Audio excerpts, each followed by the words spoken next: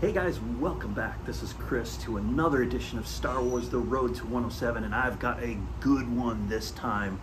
Uh, there are four books roughly in my collection that are CBCS books, and they're books that uh, I just picked up because their condition was really good, or I was able to meet an artist or an actor, and I was able to get the book signed. This is one of them. This is one of the books that I have in my personal collection. Um, it is Star Wars number 38. Um, it was signed by Michael Golden. I got to see Michael Golden at uh, MegaCon uh, one year and uh, had him sign the book right there. And uh, this is one of the first books I actually sent in to get graded, and I didn't at the time uh, go get CGC to witness this, even though they were in attendance because there was so many people there.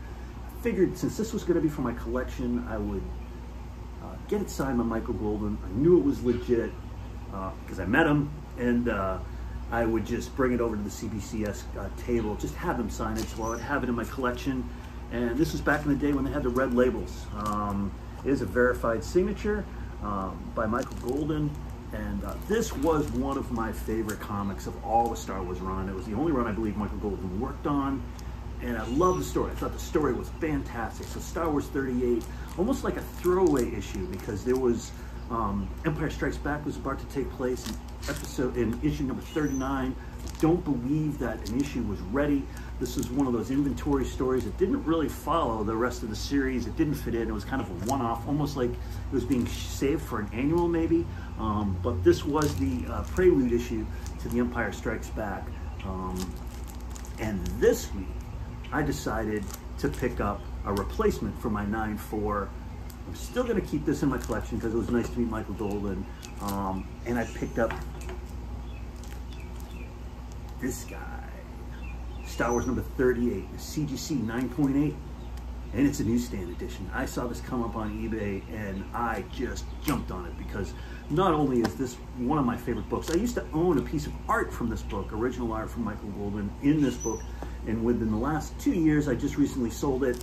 Um, for a variety of reasons, mostly just getting out of the art game. But um, this book, like I said earlier, has always had that special place in my heart uh, as one of those books that I really loved having as a kid. And uh, I had the 9.4 and said, you know what, I really need to get a 9.8. It needs to be a CGC. And you know what, let's try to get a newsstand. And sure enough, we were able to get one this week. So another great addition to add to the Star Wars collection. Star Wars number 38, Michael Golden's classic Star Wars comic in a CGC 9.8 white pages in a newsstand.